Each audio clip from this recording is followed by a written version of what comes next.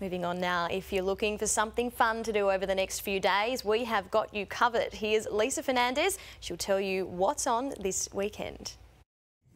The Landing Festival has just kicked off here at Elizabeth Quay and it's going to be happening right across the weekend. Great chance to sample local beer and local food like at the Low Key Chow House behind me and also Dainty Dowager. Uh, you can bring the kids, bring your friends, sit down, relax and enjoy all that Elizabeth Quay has to offer. But right now let's check out what else is on this weekend.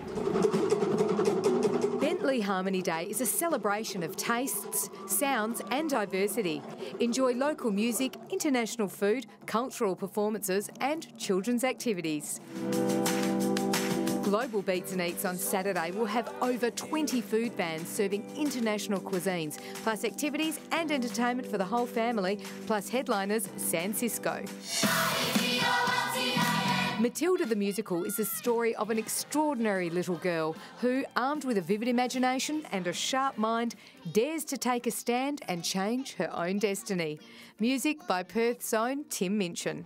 And as well as that, don't forget Free Flicks for Kids, which is at the Northbridge Piazza on Saturday night. They're showing The Good Dinosaur from 5.30. So no matter what you're up to, have a fantastic weekend. Just quick, are those dumplings? Yeah. Can I have one of yours? Yes. Okay, I think better go now. Thanks. Bye.